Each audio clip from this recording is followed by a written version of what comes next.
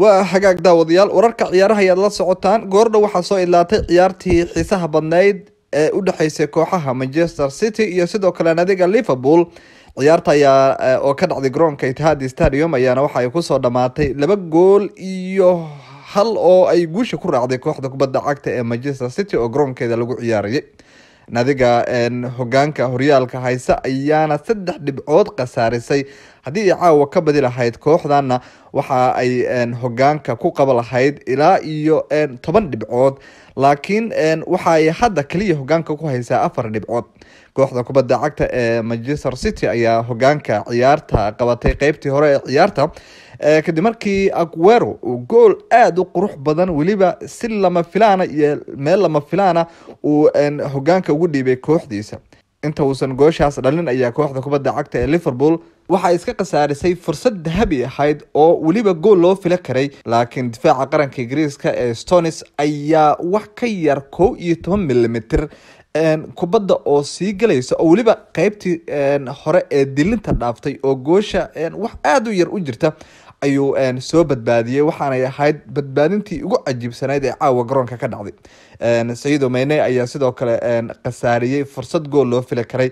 Laakiin kooxda kubadda cagta ee manchester city ayaa hogaanka ciyaarta qabatay oo ka faa'iideysatay fursaddii ay heshay waxaana hogaanka u dhiibay sergi aguero.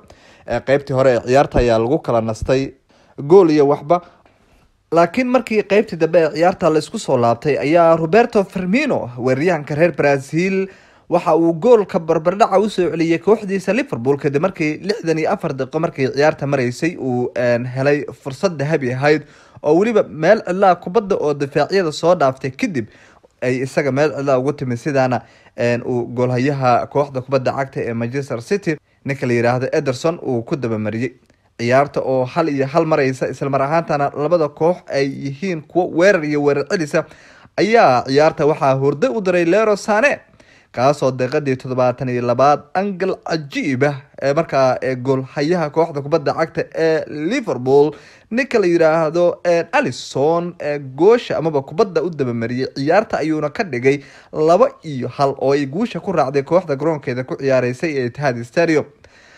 Guushan weyn ee kooxda kubadda cagta ee manchester city ay ka gaartay kulankan waa mid hami weyn u gelinaysa inay kooxda liverpool kula tartanto hanashada horyaalka wadanka ingiriiska.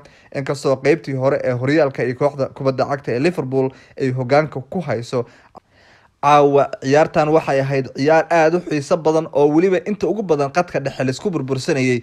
Ciyaaryahanka fernandino ayaana ahaa xidig si weyn garoonka ugu dhex muuqday halka difaacyada kooxda kubadda cagta ee liverpool ayagana ay ahaayeen kuwo halistooda leh.